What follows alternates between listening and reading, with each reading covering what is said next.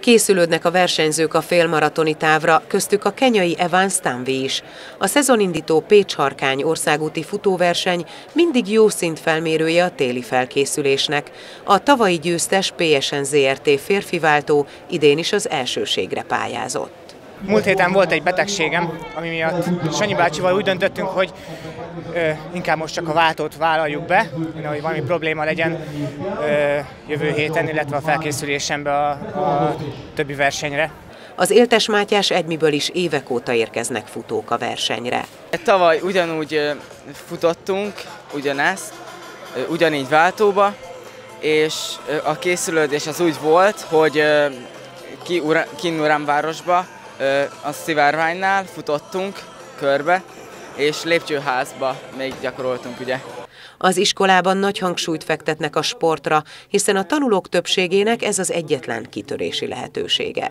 A Pécsi Éltes Egymi tanulóiból áll a csapatunk. Hát most mi most már évek óta hozunk sajátos nevelési igényű gyerekeket erre a versenyre, az pedig, hogy kik jönnek ilyenkor, az, az egész éves munka és az egész éves felkészülés utáni minőség dönti el, hogy milyen állapotban vannak a gyerekek, ehhez képest szoktam összeállítani a csapatot. Hát én nagyon szeretném, hogyha, hogyha a férfiváltók közül a, az első tízben végeznének, az egy gyönyörű eredmény lenne, egy óriási teljesítmény tőlük.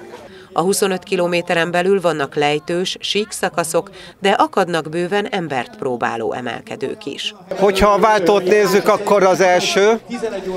Ha az egyéni futókat nézem, akkor az utolsó szakasz, mivel a, a turonyi dombok azok 18 kilométer után kell jönnek, úgyhogy nekik az a, az a szakasz lesz a legnehezebb.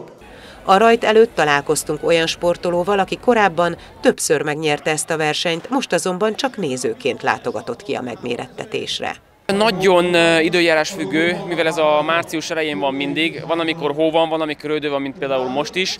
Ha éppen rossz idő van, akkor eléggé nehéz tud lenni, főleg ha nagy szelek is vannak, és inkább az eleje, a FEMA rész, az egy a FEMáig eléggé nehéz a pálya, és utána a tenkesnél van pont egy körülbelül a 21 kilométerben egy igen erős holdpont azon a tenkesi emelkedőn. Amúgy azt mondanám, hogy nem olyan vészes, nagy rész sík.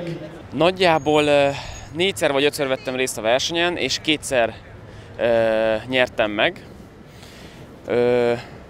mind a kétszer szerencsére nagy fölénnyel, és hát éppen, hogy nem döntöttem pályacsúcsot az egyik alkalommal. Valamilyen szinten ez is terben volt, de végül nem indultam el. Jövő héten a Mohácsi, Mohácson van egy félmaraton, azon szeretnék elindulni, és nagy rész leginkább ilyen terefutó versenyeken akarok majd a jövőben indulni.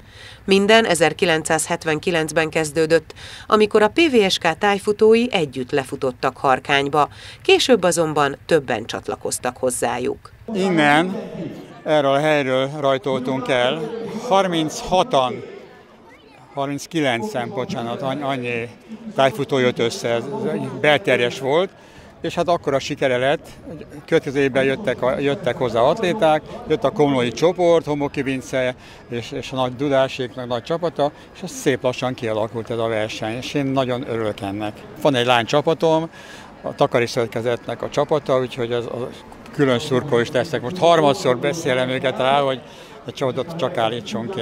A tavalyi mínusz 3 fokhoz képest idén plusz 12 Celsius fokos időben álltak rajthoz a futók. A tavaszias időben Evans Tanvi nyerte a 25 kilométeres távot 78-45-ös kiváló idővel, de Sági Ferenc 77-06-os pályacsúcsa most sem dőlt meg. A női egyéni győztes az etióp Buzuamehu Mohamed Ahmed lett 90-59-es eredménnyel. A férfi és a női váltóversenyt egyaránt a PSN ZRT csapatai nyerték.